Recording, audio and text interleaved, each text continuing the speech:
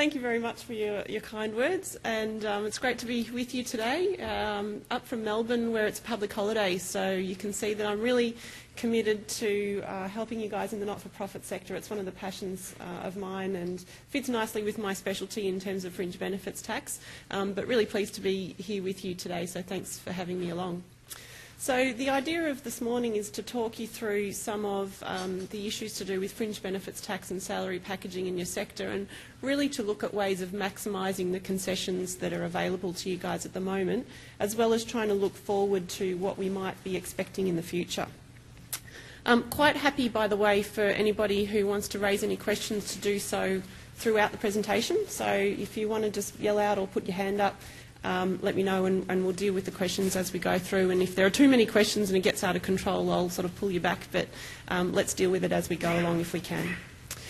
So uh, in terms of the agenda for this morning, uh, what I thought I would do is go through the FBT treatment and, and eligibility for concessions for different organisations. So hopefully most of you are aware of the concessions that are available and where your organisation fits, but just to talk a little bit about that and, and where we might be heading in the future with that as well. We'll go through some specific fringe benefits tax concessions for the not-for-profit sector and how you might be utilising those and where there might be some that you're not utilising that, that you can. We'll look at um, specific salary packaging benefits, um, the particular benefits that are useful in the not-for-profit sector, as well as then some practical issues about how to do things simply, keeping the admin easy, all those sorts of issues.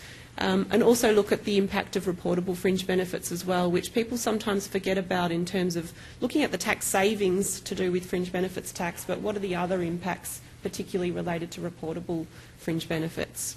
And then finally, uh, I'll talk about some of the not-for-profit sector reform issues that are happening, particularly in the FBT space. I might actually skip to some of that as we go through, just where it's relevant to what we're talking about, but we'll pick up on any of the things that we haven't covered uh, at the end as well. So to start off with, in terms of who's eligible for what, and uh, I thought I'd start with the best concession. So this is uh, who's eligible for the FBT exemption. So there's a list there. Hopefully you know if your organisation fits into one of those lists. Um, the important thing to note really there, I think, is the difference between whether you're qualifying for a 30,000 cap uh, in grossed up benefits that can be provided exempt to your employees or whether you're restricted to the $17,000 cap. So hopefully you can see from that list um, where you fit if you are a, a, an FBT exempt employer.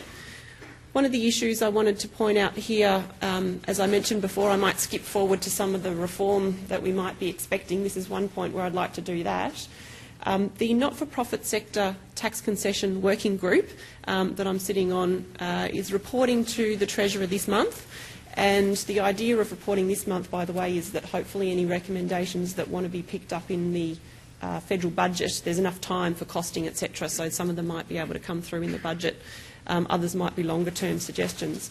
But one of the issues that we've been looking at is who qualifies for which concession and should we stick with this list of organisations as eligible for the FBT exemption or do we need some refinement around this list and also the next list that we'll look at as well in terms of FBT rebate? Um, are there organisations that should switch from one to the other? Should we just have one tier of, of concession rather than the two tiers that we have at the moment? And even are there organisations who currently don't get any fringe benefits tax concession that should fall into either a one-tier or a two-tier system for concession. So this is something that might move in the future. It's not necessarily something that would be picked up straight away in the budget, um, you know, and I don't have any inside information on that. Obviously, that's purely for the government to decide um, what they want to do with, uh, in terms of announcements in the budget. Um, but I would guess that this is something that needs a bit sort of uh, more longer-term consideration about who really should be eligible for what. Um, another area of reform that I'll mention at this point straight away as well is, uh, or potential for reform, is the ability for employees at the moment to access multiple caps. So if you're uh, employed by a number of different organisations, you could at the moment qualify for either the 30,000 or the 17,000 cap for exempt benefits uh, at each of those employers. So this is certainly something that the working group's been looking at and thinking about whether we need to refine that process so that employees can actually only access one cap for the FBT year. Um, the whole purpose of, or the, or the guiding principles of the working group are really to look at the current envelope of tax concession support provided to the sector and is there a better way that we can provide that support? So is fairer ways, simpler ways, more effective ways? So if, for instance, the multiple caps issue was addressed and employees could only access one cap, that actually um, provides a pool of money that can then be distributed to the sector in a different way, hopefully a fairer, simpler, more effective way. And the, all the reforms need to be uh, revenue neutral. So um, don't think about them as just taking things away. There's actually a hand back at the same time. Question? Elizabeth, the religious practitioners aren't on your list. Have they already uh, had their exemptions removed? No, they haven't. I only haven't included them there because it's not a blanket exemption for the organisation itself, for the religious practitioners. In fact, I'll flick over to the next page now because that's top of the list on the next one, and it's a common area of confusion. So a religious institution at the moment would qualify for the rebate of FBT along with the other organisations listed there. But to the extent that there are religious practitioners providing services in relation to you know, their, their duties as a religious practitioner, then they would qualify specifically for the exemption. But it is important to remember that other employees within the organisation don't get the exemption. It's only the rebate available to them. So this is not an exhaustive list as well for the FBT rebate now. Um, but this is a fairly extensive list of who would be covered under this category. So the main issues that I wanted to point out here, uh, if you fall into the category for FBT rebate in a salary packaging context, is that it's really only going to be tax effective for employees to salary package benefits with the FBT rebate to the extent that they're earning above 80,000 taxable income. That's using today's tax rates and tax thresholds. Technically, there is a saving below 80,000 of taxable income, but it's so small that you wouldn't bother. So, for instance, if you think about somebody packaging the whole, let's call it $16,050 worth of fringe benefits that grosses up to the 30,000 cap, um, they would need to give up the 16,050 for the benefits plus about another 7,000 for the FBT applicable to those benefits. So roughly 22,000 out of their, their total remuneration package. So if that person's earning, let's say, $102,000, that's 22,000 more than that 80,000 cap. It makes sense to package in that scenario. Well, it probably makes sense, ignoring all other sorts of issues that we'll talk about later. But if the person's on a salary of, let's say, $90,000, it doesn't really make sense to package right down below the 80,000. However, they still could because it's not going to put them in a negative position from a tax perspective. There'll be a marginal saving below the 80,000. So, for instance, if you're on 90,000, you could give up the whole 22 for 16,000 of benefits. But if you're on 80,000, you probably wouldn't why would you give up 22,000? You're not going to really get that much saving from it. It's probably not worth entering into the, the arrangement. Does that make sense? A few nods. Um, so, uh, from a rebatable employer perspective, what I often find is that there are not a lot of employees in the organisation earning more than $80,000. So, it's not necessarily a great idea to introduce a fantastic policy about all these benefits that you can package when the employees aren't really going to benefit from it because their salaries aren't high enough to get any saving. In that scenario, it probably makes sense to look more on a case by case basis at the individuals who could get a benefit from the arrangement. Okay. Um, that's the organisations that qualify for the FBT concessions. Next thing I thought we'd move to is the specific concessions for benefit types that are relevant to the not-for-profit sector. And really there are three main ones to tick off on. So meal entertainment, entertainment facility leasing expenses, which I like to call venue hire, and car parking fringe benefits. So we'll talk about each of these. Particularly in relation to the car parking benefits, I've listed there the organisations that get a specific exemption from FBT for car parking. So this is something to be aware of if you're a public benevolent institution, hospitals, ambulance services, health promotion charities, scientific institutions, registered charities and public educational institutions. So those organisations get the car parking benefit.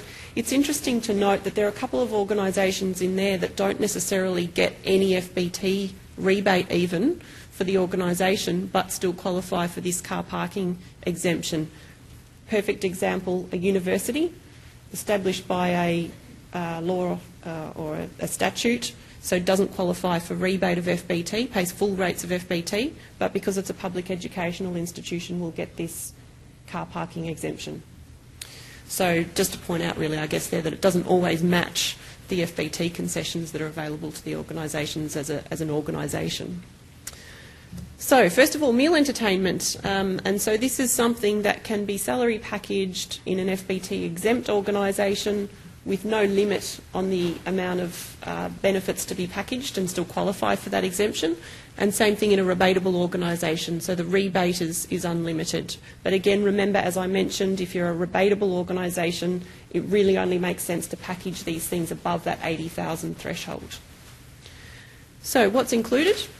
There's a great big long ruling from the tax office that talks about what's entertainment. It's pages and pages, and there's lots of examples. So if you've had any trouble sleeping lately, get hold of um, TR. Sorry, I flicked over without meaning to. TR 9717 and have a read.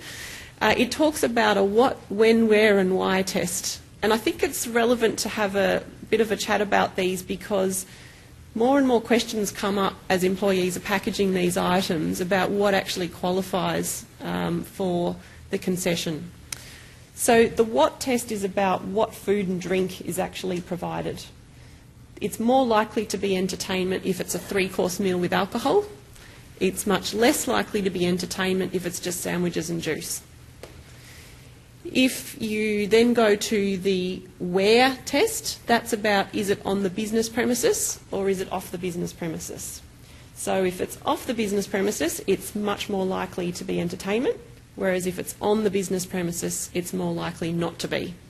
Now, these are not black and white tests, obviously, but they're more likely versus not so likely tests, and you need to look at it on balance. So that's the what and the where. The when is when is the benefit provided? Is it within business hours or is it outside of business hours? So again, in business hours, more likely not entertainment. Outside of business hours, more likely to be entertainment. And the final one is the why, which is actually probably the most important test. Why is this benefit provided? Is it because it's the time of day and you need a meal? Or is it actually to entertain the recipient? So, for instance, if you think about employees buying their lunch every day during, during a work, normal work day, they've got to go and buy their lunch because it's lunchtime and they're hungry, and you know that's more a sustenance sort of need. Whereas if they're going out to a restaurant with a bunch of other people and there's a social flavour, that's more about entertainment. It's not eating just because it's lunchtime, it's actually extending that to the purpose of entertaining. So it's quite subtle, um, but they're the sorts of things that we look at in trying to work out whether something's entertainment or not. And I guess from an employer perspective, in terms of working out what you will allow from a salary packaging uh, or in, as part of your salary packaging process, you need to have some practical rules about what you're going to allow and what you're not going to allow. And I think it's also important to think about the fact that the law was never written with all of this salary packaging in mind. So there's often no perfect answer to a question that an employee asks about is this particular expense allowed from a salary packaging perspective was never contemplated by the law. So we've just got to look at what we, what we have and work out where it fits. And that's why all these sort of tests are relevant, but you then need to use some sort of practical approach to saying, well, we'll allow this set of items, but we won't allow this set of items because perhaps it's too hard with those ones to work out whether they are actually entertainment or not. So a couple of examples are up on the board there um, on the slide. Restaurant meals, uh, dine in, are generally accepted as entertainment um, because you usually don't go to a, a, restaurant just to have your lunch every day. It's more for an, an uh, entertainment type or social occasion. Um, the dine in aspect is about the fact that the timing of the entertainment is kind of important. So if you're dining in, you're being entertained straight away when you purchase your meal. Whereas if you purchase a takeaway meal and take it away and eat it somewhere else, you're not entertained straight away. The entertainment doesn't happen until later when you're eating it. So, and it's also harder to determine whether that actually is going to be in a social entertainment kind of setting. Um, so that, that's why you'll see a lot of uh, policies that exclude the takeaway meals but just allow the dine-in meals. From a practical perspective, it, it gives the employer some level of certainty about the costs that they're allowing fitting within the rules. Um, catering costs for a party is another example. So it could even be a party at home that you're having catered. So the, the bill for those sort of costs can be uh, packaged as meal entertainment. Um, but you'll see general groceries is on the excluded list. So technically, if you're having a party at home and you go down to the local Woolies to buy your various bits of food and, and grog for the party, that would qualify as meal entertainment. But from an employer's perspective, keeping the, the system practical, it's too hard to distinguish those sort of costs from your general grocery items. So you really can't, from a practical perspective, allow those items, or your whole system just becomes unmanageable. So again, it's another example of where you've just got to have a practical approach and where the law really you know, didn't have these things in mind. Um, so that's the meal entertainment side. The next one was the venue hire, the entertainment facility leasing. So this is uh, this is something that was introduced in order to keep compliance costs low. So it was actually all about well, when you have a Christmas party or some other sort of entertainment event, we didn't want the employer to have to work out who was there and which amount of the benefit was going to be reported on each employee's payment summary, etc., etc. But as a result of the introduction of that exclusion, if you like, it had the flow on effect that for a not for profit, you're always going to be exempt from FBT or qualify for the rebate of FBT on this type of expenditure as well. So, again, it's an area where the law wasn't really written with this in mind, but it works for the moment. And I say for the moment because getting uh, onto the reform issue again, I think this is an area where there's a fairly generally uh, accepted view that this wasn't intended and it's an area that's perhaps ripe for reform. Um, and I think that it's quite likely, and we haven't, in terms of the not-for-profit sector tax concession working group that I'm on, the recommendations to government haven't been settled yet but I'm fairly confident that one of the recommendations will be about removing this, this benefit item. So the message today is kind of sorry, um, but also make hay while the sun shines, do what you can while the law is still uh, allowing this to happen, and also keep in mind that it's not just taking away, like I said before, it's actually looking at how can we redistribute that benefit in a better, fairer, simpler way. So um, I guess another point to make there too is that if we do see a change, recent history in terms of changes being made by the government has shown that they've tended to allow transitional rules for arrangements that are already in place. So if you put in place an arrangement today for these types of benefits, it's quite possible that any future change in this space will only relate to new arrangements and not existing arrangements at that point. I can't promise that, of course, but that's certainly what's happened with more recent legislative changes that we've seen in the FBT space. So, what can you package today in this, in this um, category?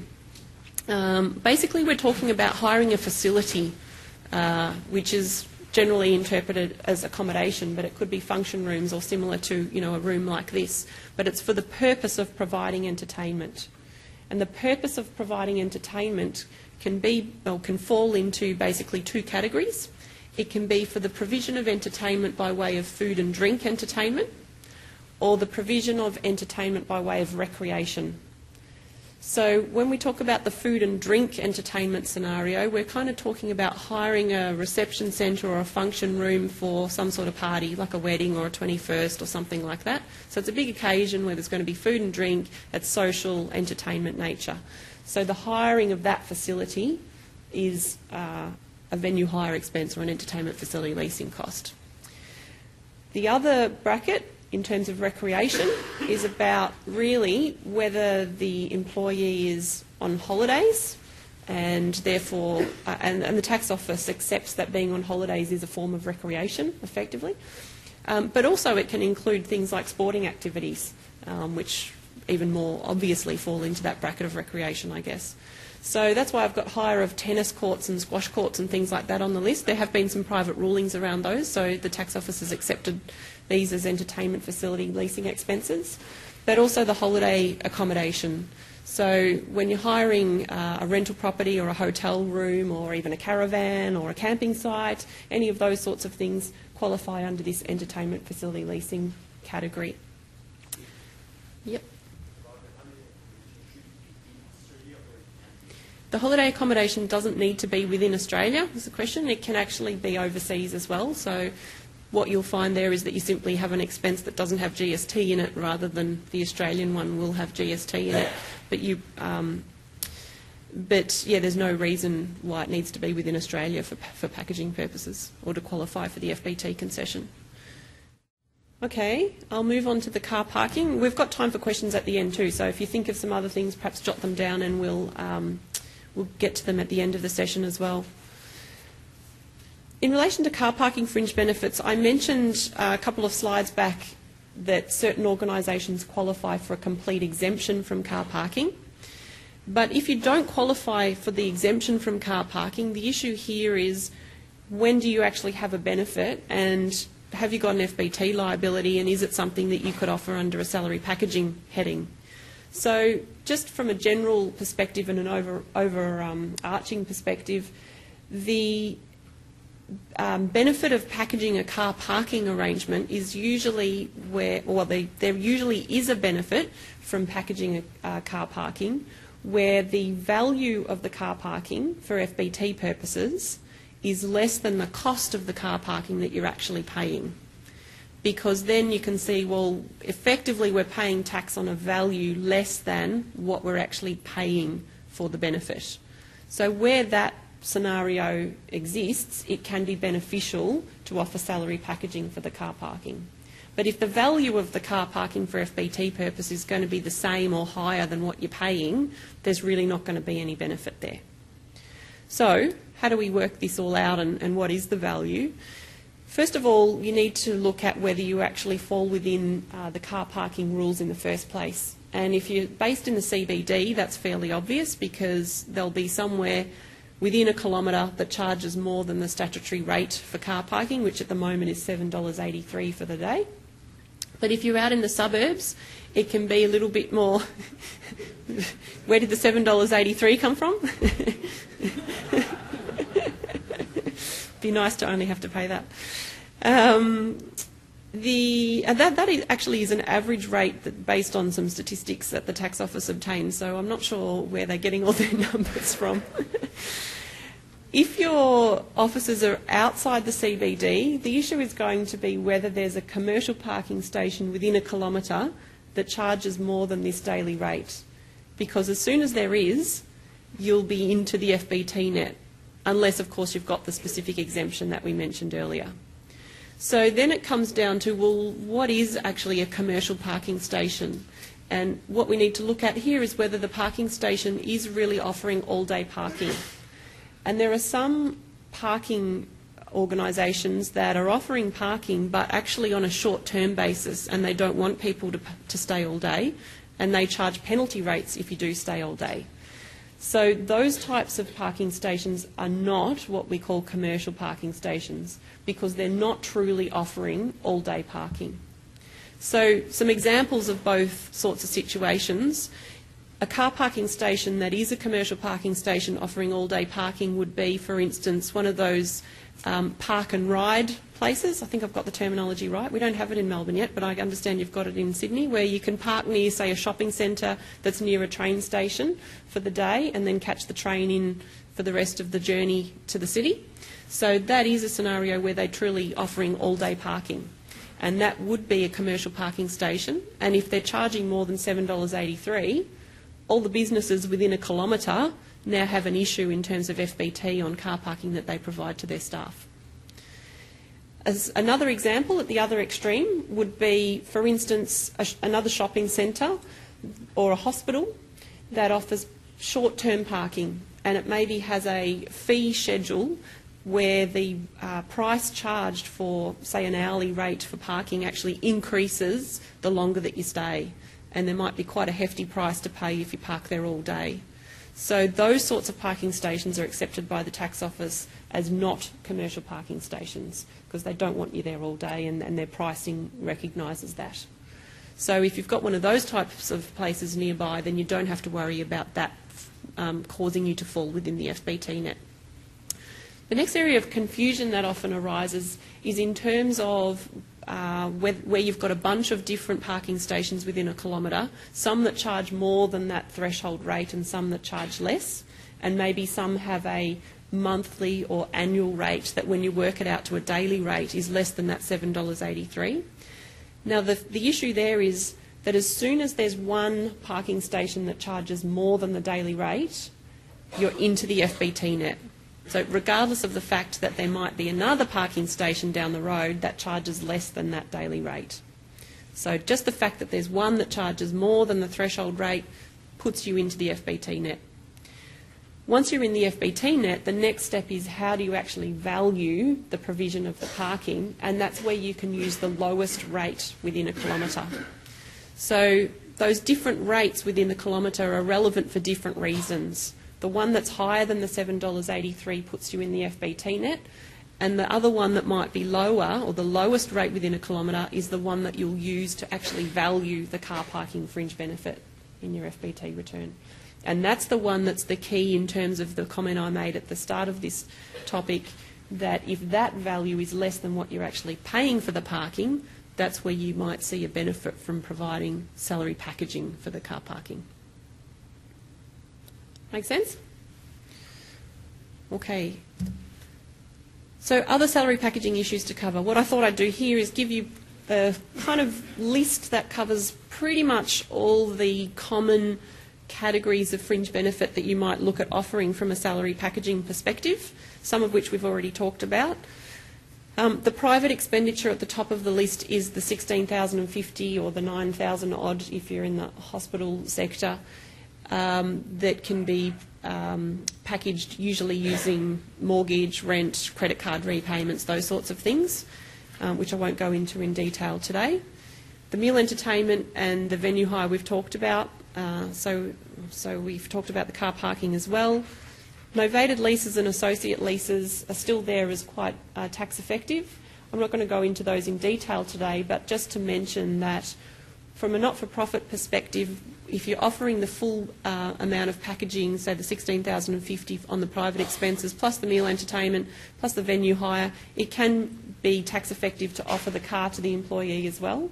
They might find that it's beneficial to package a car on top of all those other benefits, or for, particularly in the rebatable employer scenario, they might find that it's beneficial to package the car as part of their 16,050.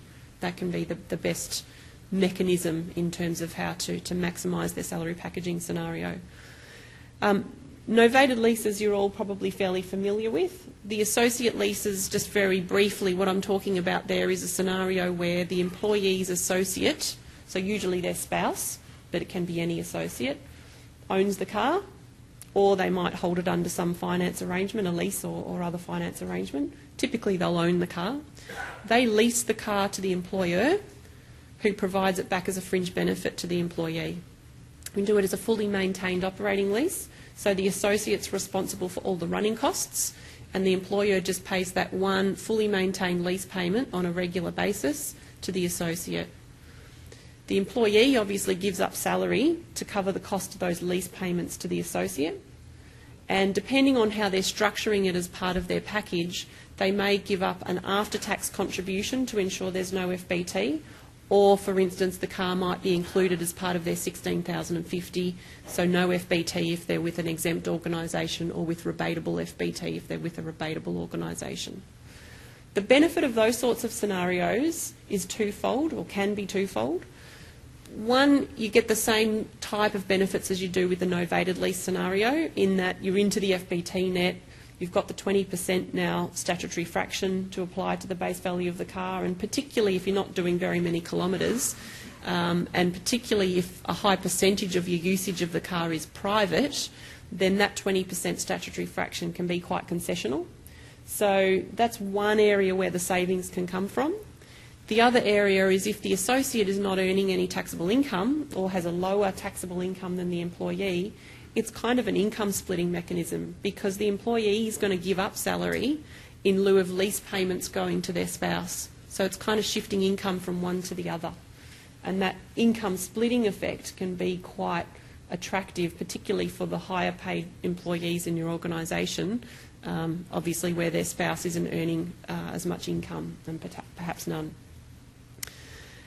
Grant Thornton has some calculators, by the way, that just help work out the tax savings from these sorts of arrangements, which we don't charge a fee for. So if anyone's interested, um, just shoot me an email and I'll send you back the calculators.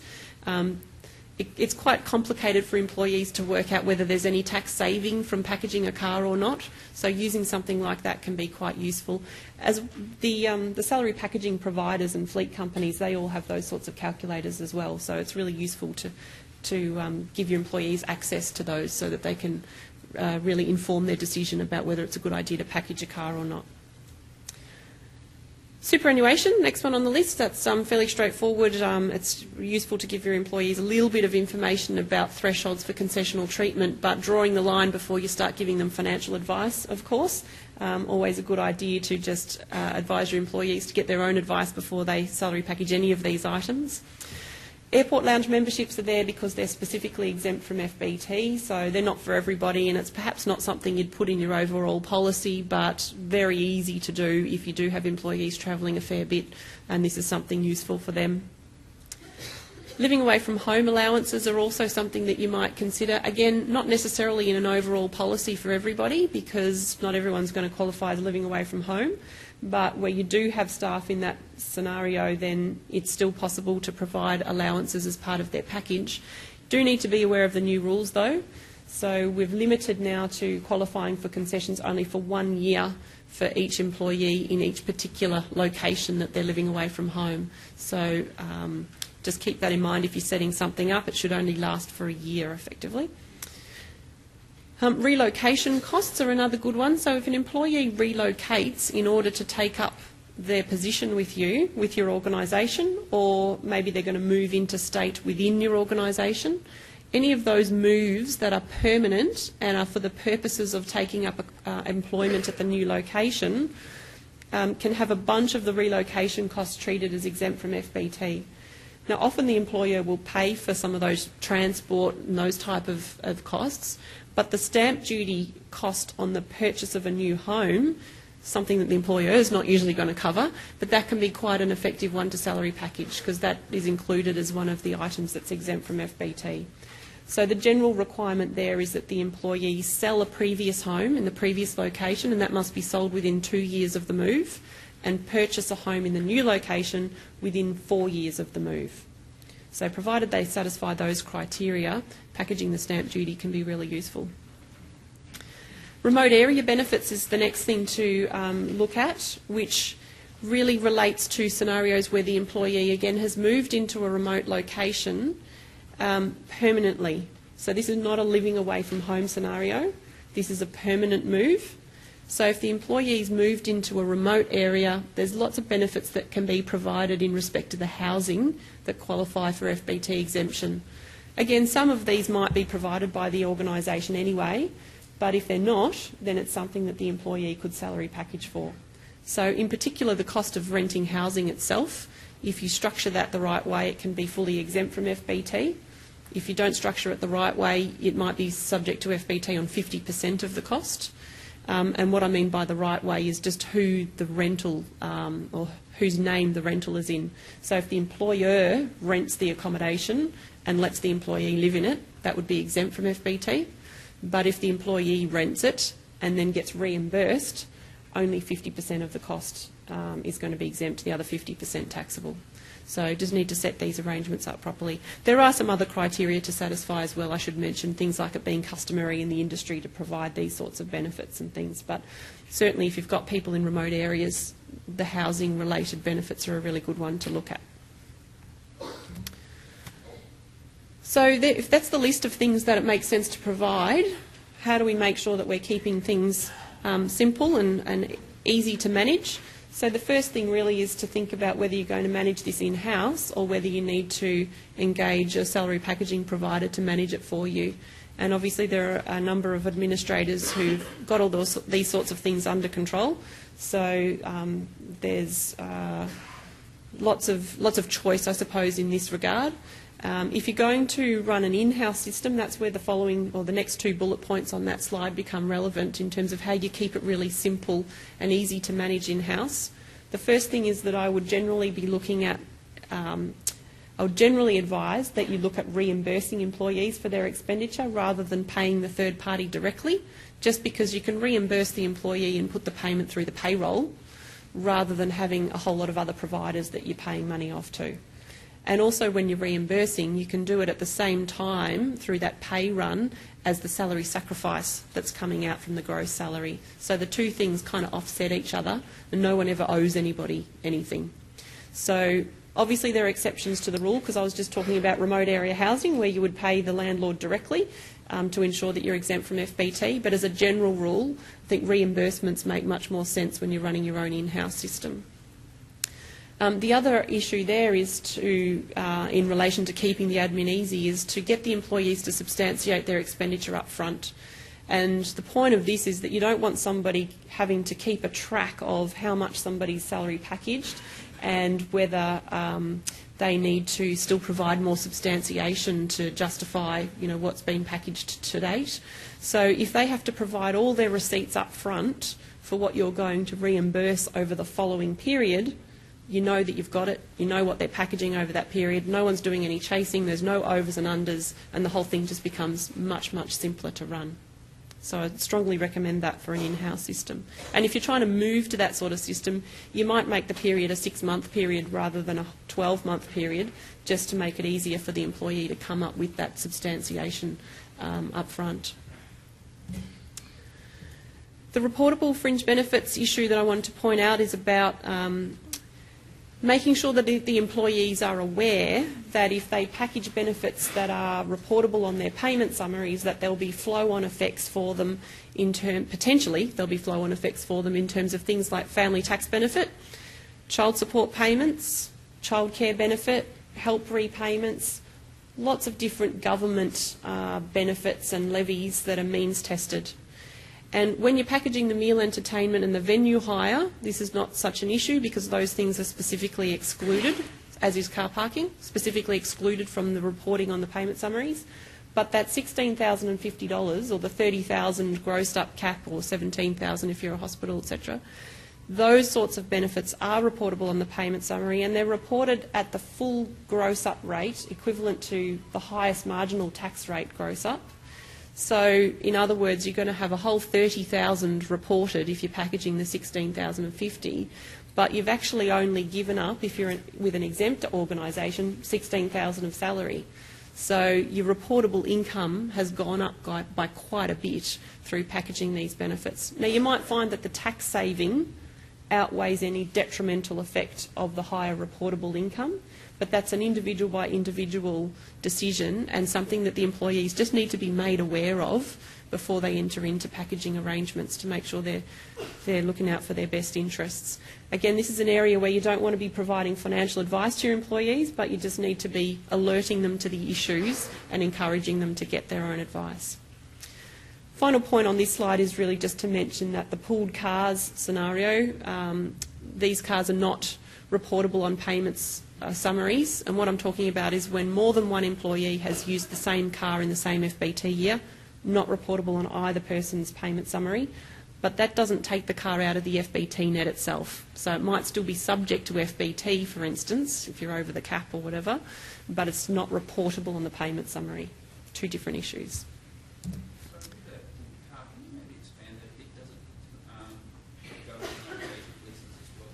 Yeah, so the, the pooled car basically covers where more than one employee has used the car for private purposes in the same FBT year. So if an employee's got a novated lease, someone else is going to need to use that car and take it home overnight, for instance, for there to be a second user for it then not to be reportable on either person's payment summary at the end of the year.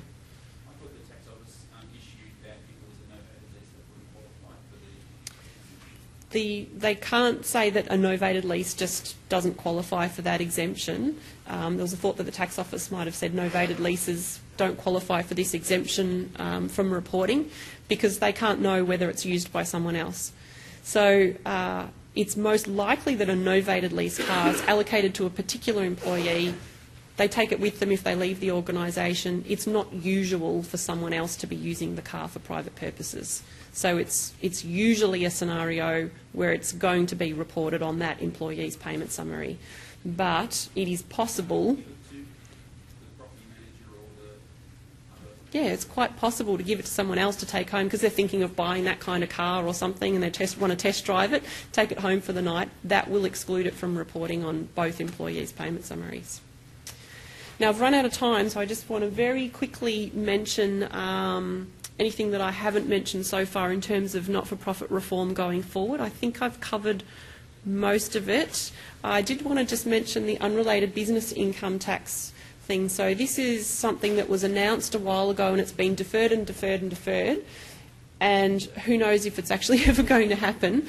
But if it does, there's an FBT flow on effect. This is about where you've got a not for profit who's got some commercial activities, usually fundraising activities, and the profits are channeled into the not for profit activity itself.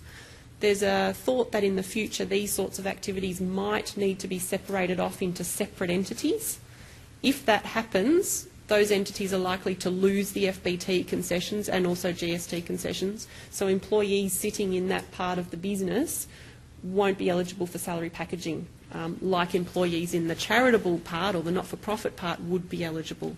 So that's just something to have in the back of your mind in terms of activities that you might either have now or be thinking of down the track uh, in terms of structuring and, and just how you're going to be able to pay employees. So I've, I've run out of time now, so thanks for your attendance, and I will hang around a little bit uh, at the end if anyone's got some other questions that we haven't had time to cover so far.